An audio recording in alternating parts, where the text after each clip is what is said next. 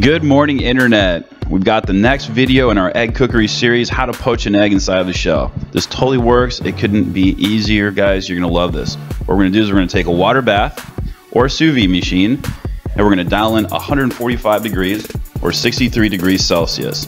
We're going to place our eggs in the water bath for exactly one hour. Hands off. That's what's cool about this. We're letting the water and the heat take care of all the work for us. So after one hour, we're going to check and see how we did. The trick to getting it out is taking a knife and just cracking around it really gently. And then we're gonna get really close to the plate and we're gonna release the egg. Let's see how we did here. That is a perfectly poached egg. It's beautiful, its shape's there, it's really cool. Hope you guys try this out. Come join us on social media. We'd love to have you over there. Links will be below.